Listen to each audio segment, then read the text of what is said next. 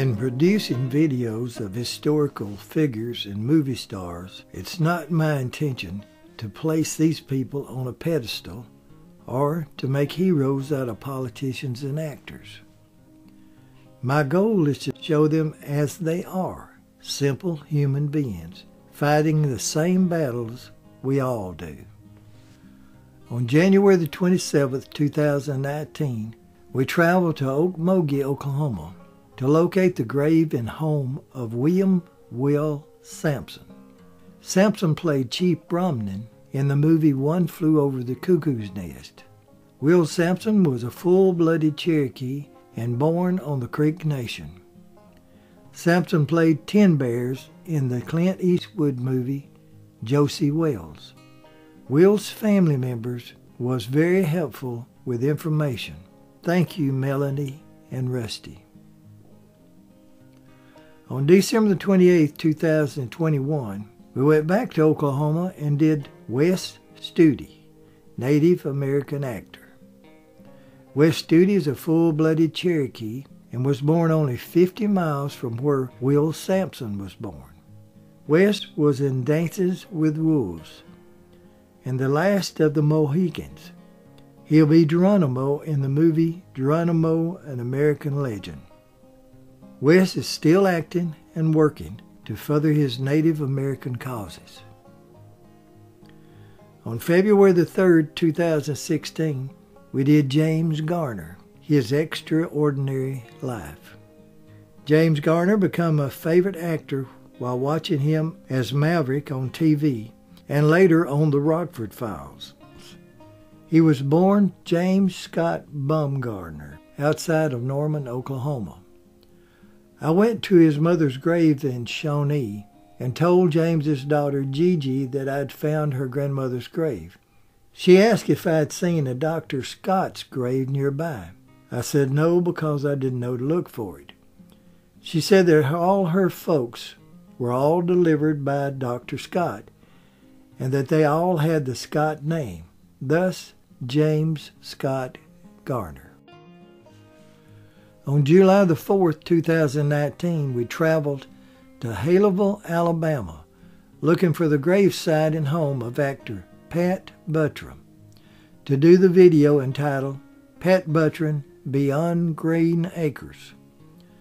I'm sure you remember Pat as Mr. Haney on the TV show Green Acres, but I remember him as the sidekick of cowboy star Gene Autry.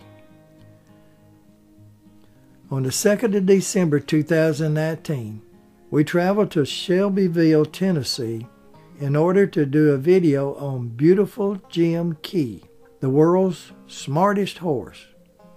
Now this is a very remarkable story about a horse raised by his owner, Dr. William Key. Scientists and educators tried to find the trickery behind the smart feats of Jim Key but could not and finally said that this horse has the equivalent of a sixth grade education. On April 29, 2019, I traveled to Langtry, Texas to do Judge Roy Bean, The True Story. It is one video I enjoyed doing, but for the life of me, I couldn't decide if Judge Bean was a nice guy or a scoundrel. I finally decided that he was a scoundrel with a sense of humor. He would stop court to let the defendant buy drinks for everyone. Watch the video and see what you think. On September the 7th, 2015, I went to Louisiana, home of the governor and senator and sometimes dictator, Huey P. Long. I first went to Winfield, where Long was born and raised. President Roosevelt said that Huey P. Long was the most dangerous person in America. However, that was when Roosevelt thought Long was planning on running against him for president. In Baton Rouge, I filmed inside the Capitol, where Huey Long was assassinated. In September 2021, I drove to Fort Smith, Arkansas to do a video on Bass Reeves, the first Lone Ranger. Bass Reeves was the most honorable deputy U.S. Marshal working for Judge Parker's court. He delivered more prisoners from Indian Territory to the federal court in Fort Smith than any other marshal. He even tracked down his own son that was wanted for murder. In February 2021, we did a video on the cast of Lonesome Dove. Captain Woodrow Call was played by actor Tommy Lee Jones. It was Jones's first Western. He performed his own stunts because he was raised up riding horses. Robert Duvall played the fun-loving Augustus McCrae. Robert said that his portrayal of Augustus McCrae might be the best part that he's ever played. Joshua Deets's character was taken from the real-life cowboy of Bose Ikard. Danny Glover portrayed Joshua Deets. Laura Wood, the prostitute that was raped and tortured by the outlaw Blue Duck, and Augustus McCrae comes to her aid. He calls her Lori Darling, played by actress Diane Lane. In April of 2021, we did four more actors of the cast of Lonesome Dove in What Happened to the Cast of Lonesome Dove Part 2. Ex-Texas Ranger Jake Spoons shows up in Lonesome Dove after a 10-year absence. Jake is played by the actor Robert Urich. At the end of Urich's life, he had to battle cancer. He at one point lost his hair and said that he cried every day. Newt Dobbs was a 17-year-old orphan raised by Captains Call and McCrae. Newt was played by Ricky Schroder. Ricky was 18 years old at the time and said that years later he went back to the Moody Ranch in South Texas where Lonesome Dove was filmed on the banks of the Rio Grande River and that everything had fallen down and decayed. Clara Allen was played by Angela Huston. Proves you don't have to be a prostitute to have a good heart. Angela Huston is the daughter of the famous director John Huston. For years, she was girlfriend of Jack Nicholson. Next was Sheriff July Johnson. He was just plain pathetic and a little bit simple-minded. July was played by Chris Cooper, who did a marvelous job playing July. On January the 22nd, 2021, we did Strange Tales of the Natchez Trace. We drove the entire trace, discovering the history from Nashville to Natchez. The Natchez Trace is a reflection of our national hero.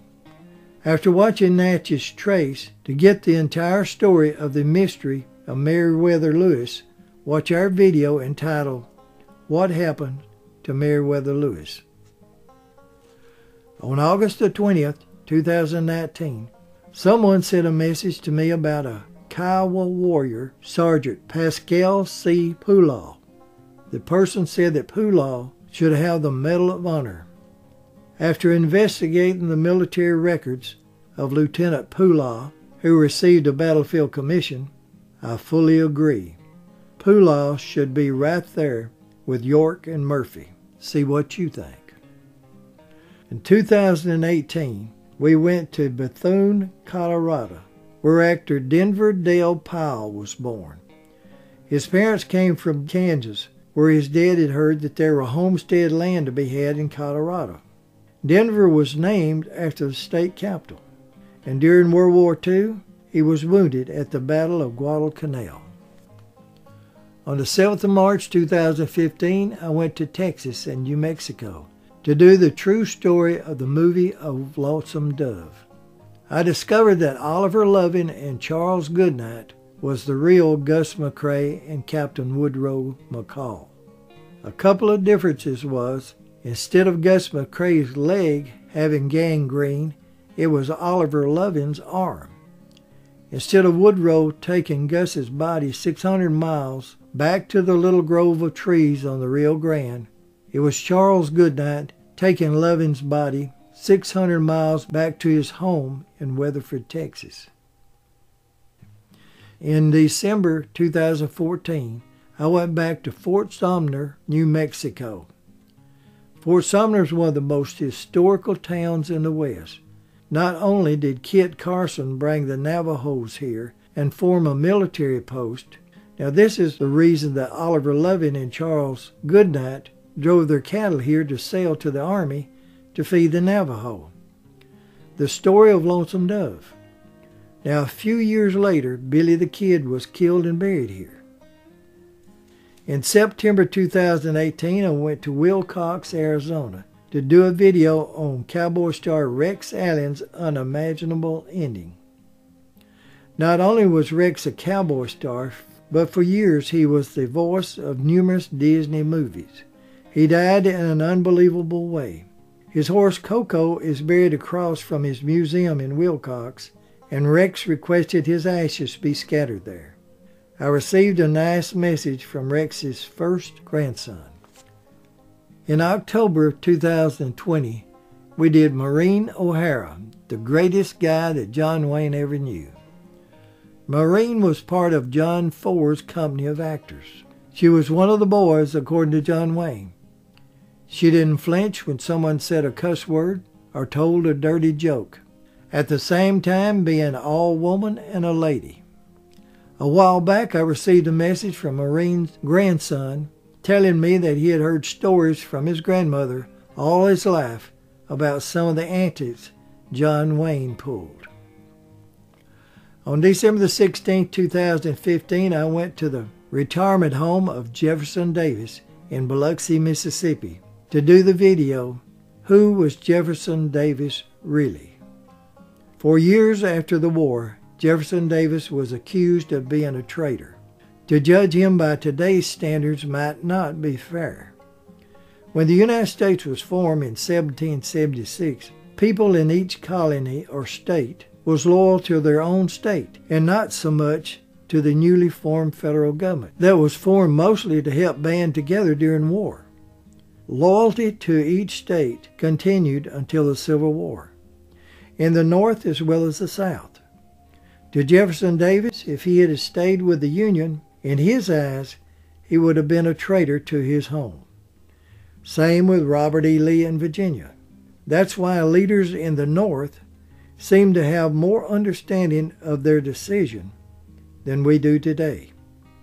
To get the full story of Jefferson Davis, go also to our video on Mound Bayou.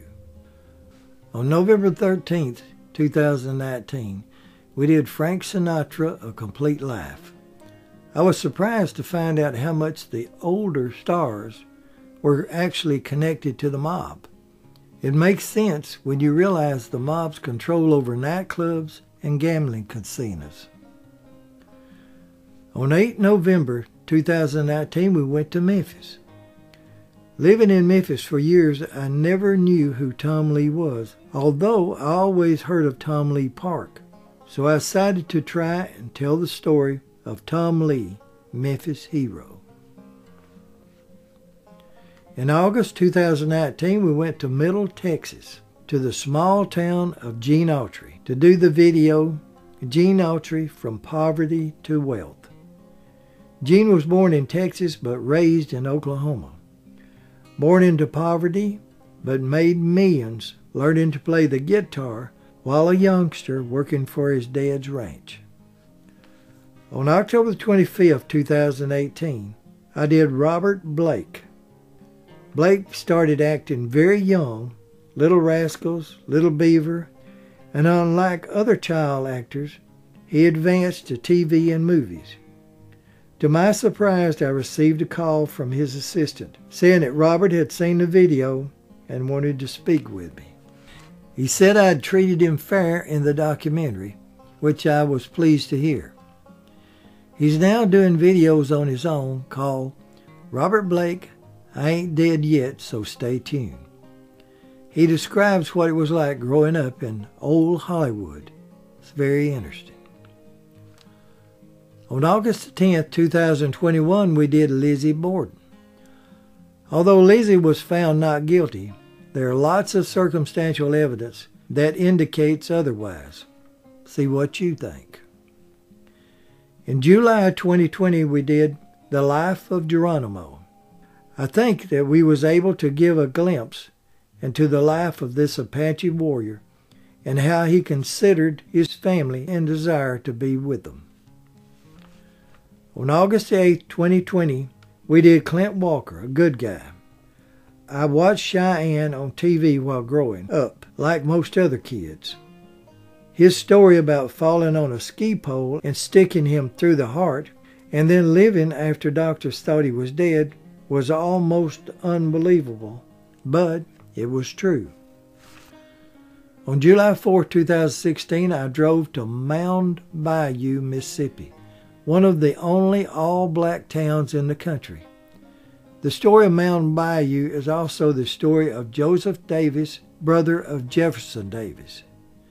Both Davis brothers were very liberal towards their servants, never calling them slaves but servants. They allowed their slaves to form their own government and discipline their own. Their ancestors created Mound Bayou from what they learned from the Davises. Watch this video and learn about these remarkable people that created Mound Bayou. On October the 20th, 2021, I went back to Fort Smith, Arkansas to Miss Laura's. It's now the Fort Smith Welcome Center. In its day, it was Fort Smith's most classy upscale whorehouse. It was one of seven on the same street. One belonged to Belle Starr's daughter, Pearl. All but Miss Laura's burned to the ground in a suspicious fire. On May 18, 2016, we went to the grave and location on the Natchez Trace where explorer Meriwether Lewis of the Lewis and Clark expedition was either executed or committed suicide. We give the story and you decide. On May 30, 2015, I went back to DeKalb, Texas, where I had done Dan Blocker. But this time I was to do the plane crash of rock and roll star Ricky Nelson, which was in a pasture within a mile of the home and grave of Dan Blocker. Ricky's daughter Tracy was gracious enough to give us the truth about the cause of the crash. No drugs were involved. It all came from a malfunctioning heater. The government investigators proved that Tracy was right. In May of 2017, we went to Piggott, Arkansas, in order to do the actress Lee Remick, her life story. Lee was in Piggott to do the movie A Face in the Crowd. She was staying in the home of Amanda Robinson, a 15-year-old high school majorette, who taught Lee how to twirl a baton and speak like a Southern girl. Thank you, Amanda, for helping us to understand Lee better from someone who had lived with her for a while. On December 21, 2014, I went to Memphis, Tennessee and Hernando, Mississippi to do what happened to James Meredith. James Meredith, in my opinion, did more for the civil rights movement than most others without getting credit for it because he disagreed with the movement and how it was run. Watch and see what you think. On July the 13th, 2019, I went to South Mississippi to do the true story of Prospect Hill, Mississippi in Africa. Plantation owner Captain Isaac C. Ross left in his will that his slaves will be set free at his daughter's death. This initiated a chain of events that led to murder and the creation of a country, Liberia, in West Africa. This story is almost unbelievable, but it proves how much truly alike we all are. On July the 16th, 2017, we went to Kingman, Arizona to do a historical documentary on the United States Presidents and First Ladies, Part 1 and 2. During the process, I learned many unusual things about our history. I think you might find it interesting.